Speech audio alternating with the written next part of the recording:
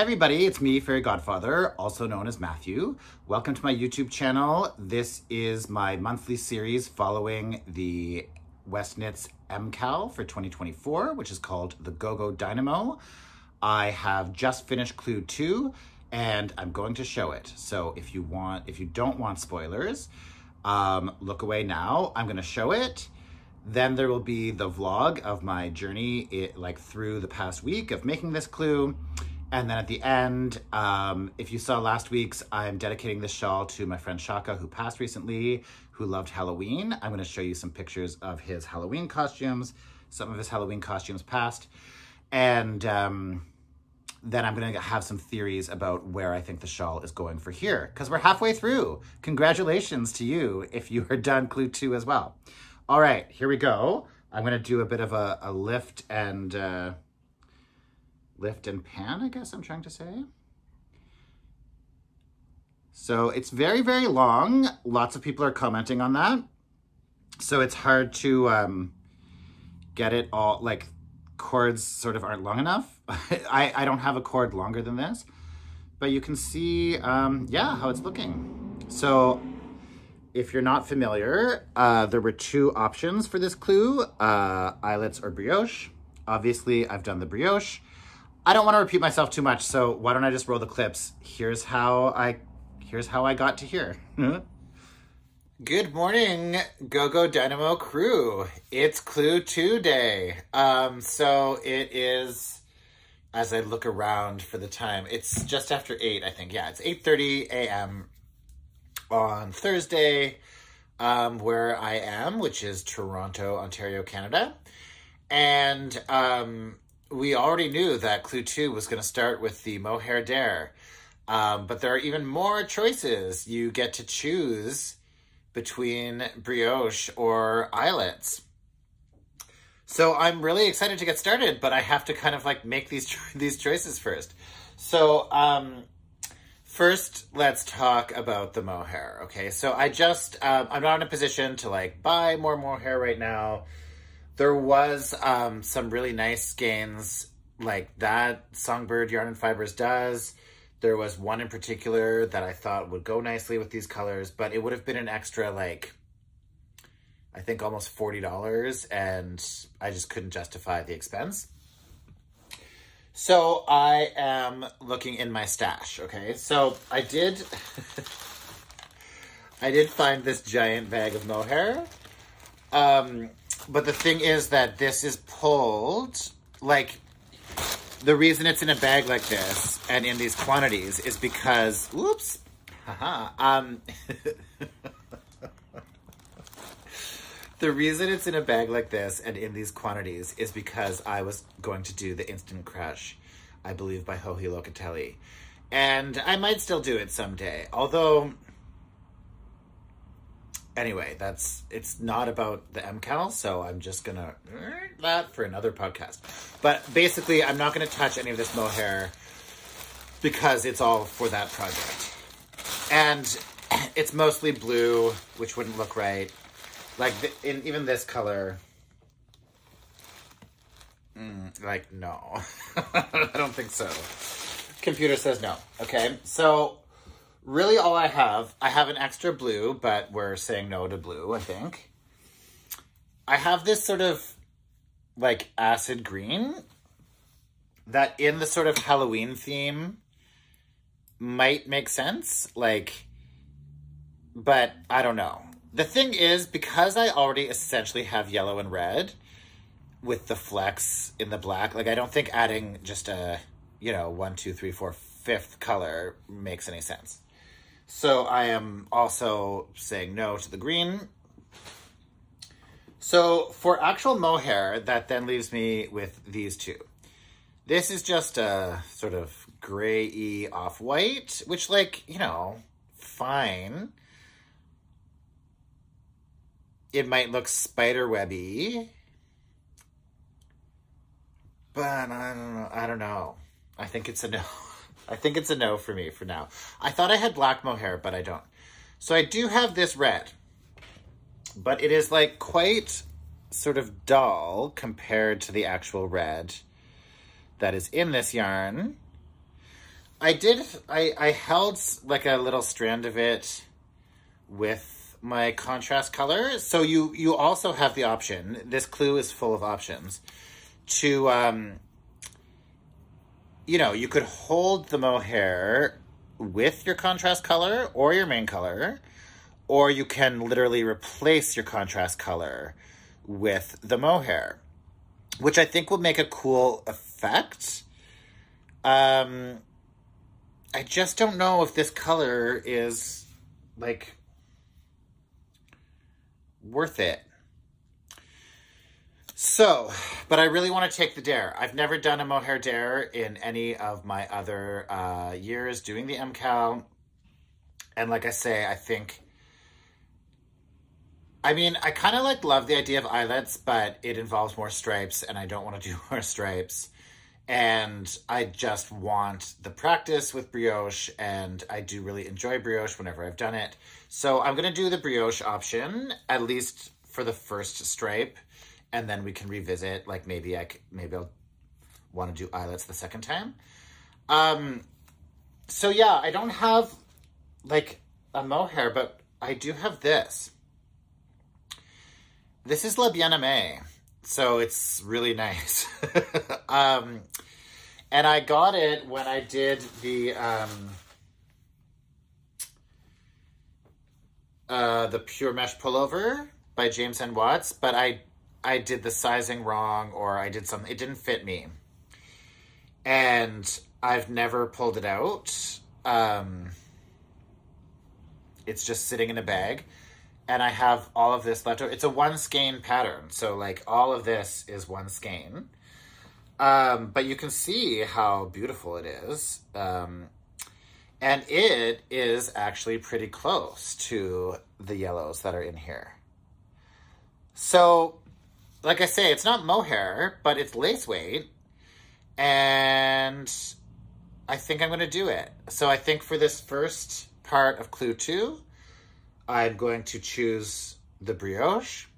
I'm going to replace my contrast color with this lace weight. Um, so this is my sort of mohair dare, even though it's not mohair. Um, I, you know, I don't feel like excessively confident in these choices, but um, with what I have before me and the knowledge I have before me, I think I, it's like enough to move forward. Look, that's going to look good, I think. And, and I think having the yellow section will break up some of the Halloweeniness. Not that I'm minding it, but I just, anyway, that's what I'm going to do. Okay. Um, see you in a bit. So I had to go on um, a little work retreat that was happening last week. Um, I had to go uh, on Thursday and it was overnight into Friday. So this is just me um, working on it.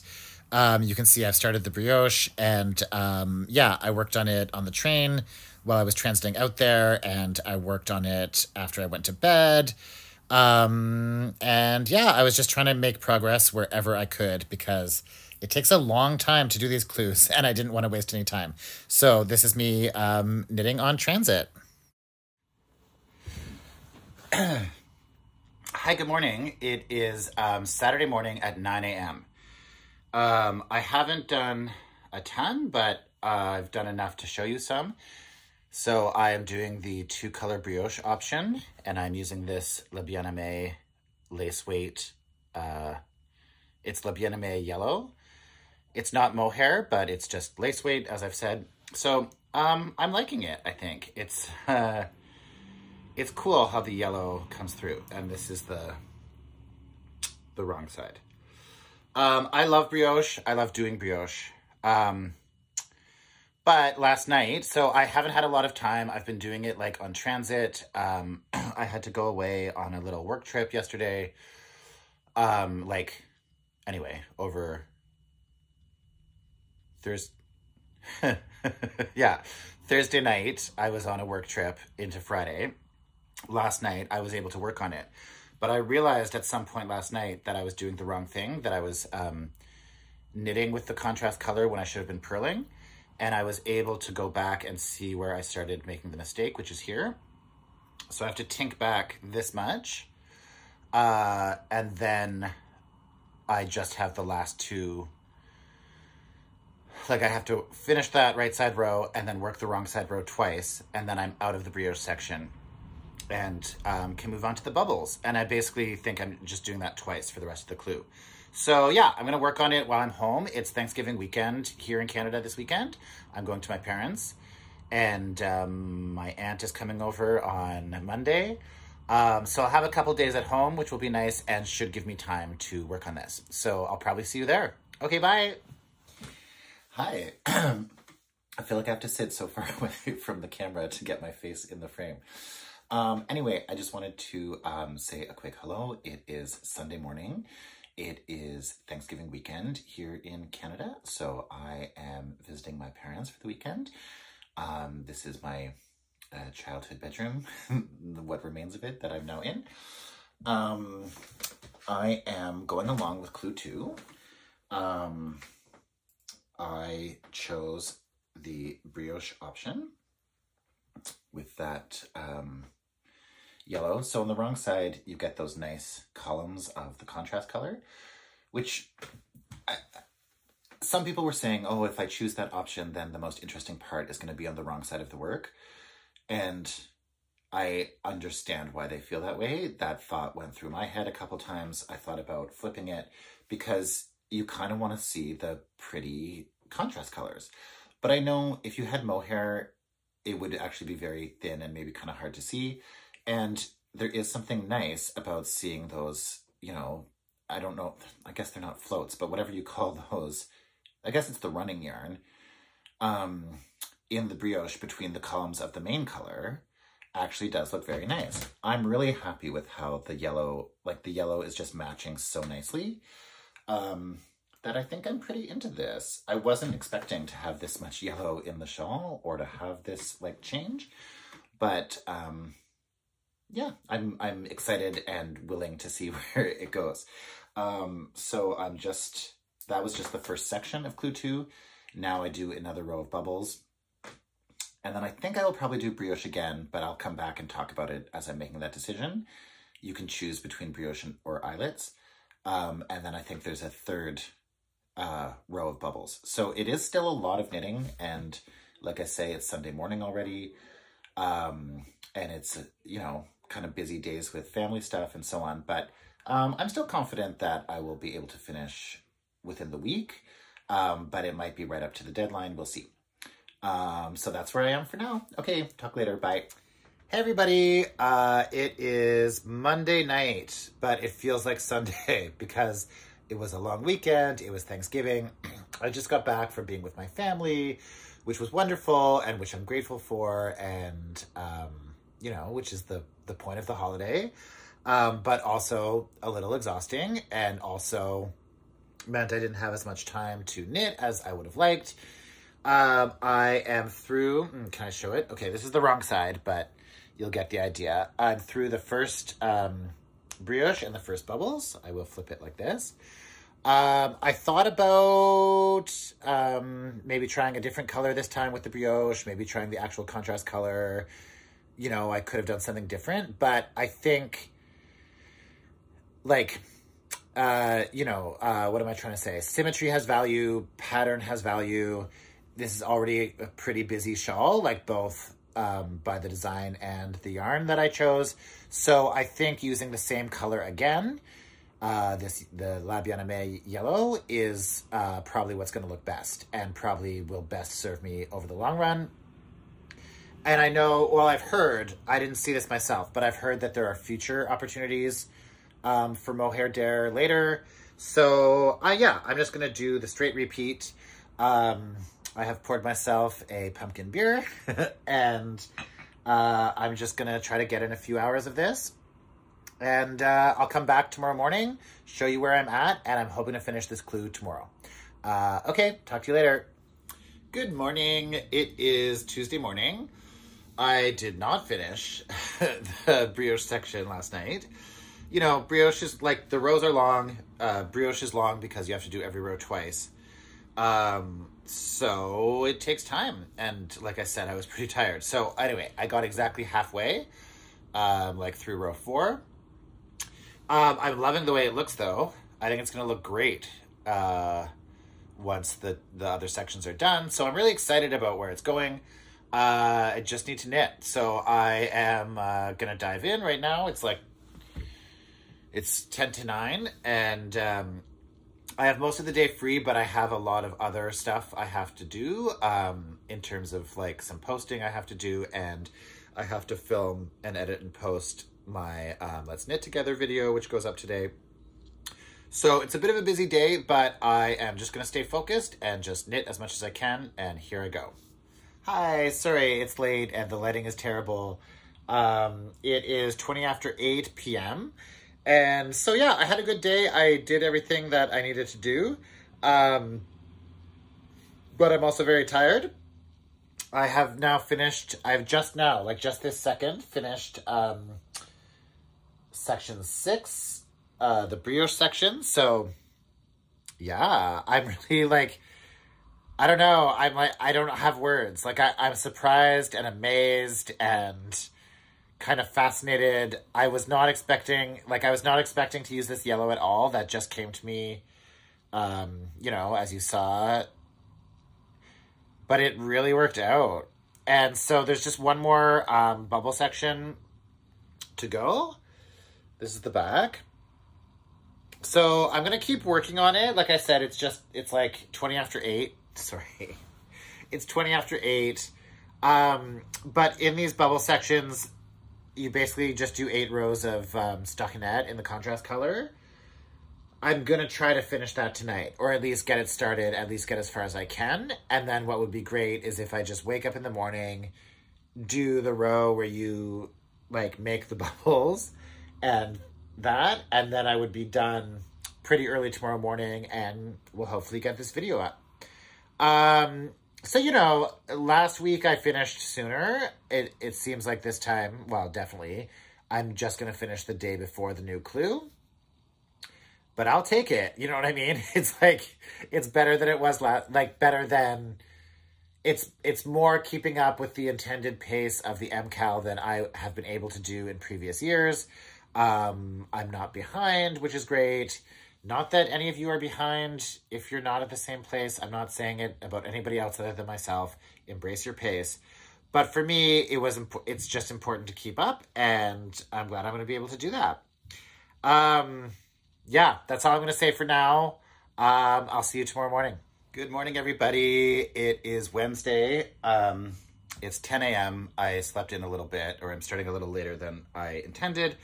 I also didn't get as far as I wanted last night. I only got um, two rows, or two, like four rows of this contrast color. So I need to do four more. And then the bubble stitch and the last little main color border um, to finish another row like this. So I'm to get to it now um, and just try to go straight through. It'll probably take a few hours. Um, and then I will um, edit up the video and show you the final uh, the final product. Okay, here I go. Hi, a little update. I'm almost there. I'm I'm two rows away. Um, so I've just done my last um, bubble row, and um, my bubbles are getting uh, like tighter and poofier as I work on doing them, which is great. When I got to the end of the row, I was um, two stitches over. I wasn't too worried about it. I just like did a couple decreases to get them out. But then when I was doing the wrong side row back, I realized what happened. and it's, I have one extra long bubble here. So, you know, after every five stitches, you're supposed to do the stitch down. And obviously here, I just missed it. So I have a, a 10 stitch bubble. Um, uh, there's no way I was going back to fix it. I know I could like um afterwards I could take a little bit of my main color and just sew a little like stitch here to like um make it look like, you know, and it would kind of bring this together a little bit. but it wouldn't have the dropped stitches on the wrong side. So anyway, I'm just going to leave it as a um, unique design feature of my shawl. I don't think anyone's really going to notice that when you're when I'm wearing it, you know. Um, so I'm just going to be really careful on this row. You're supposed to be at 409 stitches with the make one on either end. So as I go across now and do my last right side row, I'm going to count carefully to make sure I have the 409. If I'm over or under, I will like make one or decrease one or whatever so that I know I'm at the right stitch count to start um, clue three tomorrow. I'm into it and I'm enjoying it so much, but it is like a full-time job. It is so much knitting. If this were like regular life, I would just want a little break from this project and I would just take two or three days to work on something else but um, you know, I would get so far behind. So I will keep going with it. I, I really like it. Um, but it's just a lot. It's just a lot. Um, okay, I will check in again when I'm finished and doing my little wrap up. Um, see you soon. So here we are. Um, it's uh, it's just getting close to 3.30 now, so um, I still have some of the day left, although I have some errands I have to run. Um, but yeah, and then tomorrow morning I'll be starting again on clue three. So I'm gonna, my fingers and wrists are appreciating the short break that I will have from knitting on this. Um, yeah, I'm just gonna put up some pictures of my friend Shaka who loved Halloween. Uh, he, I am dedicating this shawl to his memory. And um, here's just some incredible ones. So he's been seven of nine. Um, he's been like, he was just really into like cosplay and Comic Con and all that kind of stuff. I'll just put them up. Like, and it just gives you a, a, some sense of one aspect of his personality and who he was as a person. But he loved Halloween. He was the first person who ever said to me, like, I think he asked me one time in like January, like, dear. He called everybody dear. He'd say, dear, like, what are you going to be for Halloween? And I was like, Shaka, it's it's January 20th. Like, I don't know yet. And he's like, you're not serious. You're not serious. And he, to him, if you like, if you didn't have on November 1st your Halloween costume plan for the following year, you just weren't serious about Halloween. Um, he really, really loved it. So, um, yeah, it's just fun. Like, I like that the yellow, like, changed things up a bit as that second brioche color, but it still is sort of overall like Halloween vibes, or at least somewhat, or it's open to that interpretation. Someone commented that they thought my um, bubbles looked like little pumpkins, which is kind of fun. So anyway, I did want to show that. And then I said I would kind of um, theorize about where we're going from here.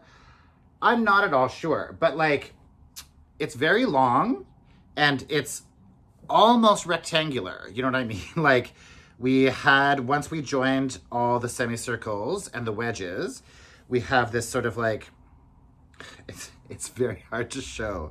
And I wish I had the technological and manual abilities to draw. I would try to draw, but I don't know that I can. But so we have this very long bottom edge, and then we have slowly increased, so there's a slight taper up. So it's basically like a big, um, what is that, a rhombus? A parallelogram? No parallelograms are like that, right? Both sets. Anyway, whatever it is. a pyramid? A rhombus. I think it's a rhombus. I don't know. Anyway, so like bottom, sides like this, and then a longer top. So I'm just trying to think about how it's going to go on the body. I was thinking it, it wouldn't be able to wrap around, but I mean, it can. But what am I trying to say?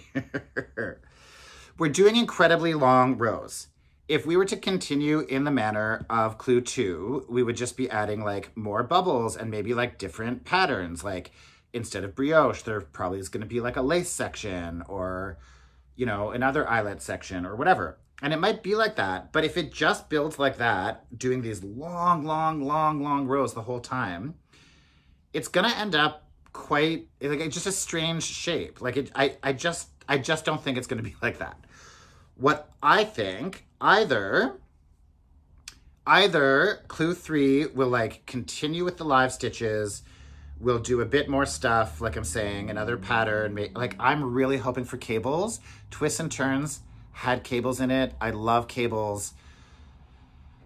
Westknits Gods, Let There Be Cables. So we could do more like that, bind off, pick up on the cast on edge, and then do a long point. So the whole thing would be more like a big triangle. I actually don't think that's it. I think we are done with the cast on edge. I think we're gonna get like two,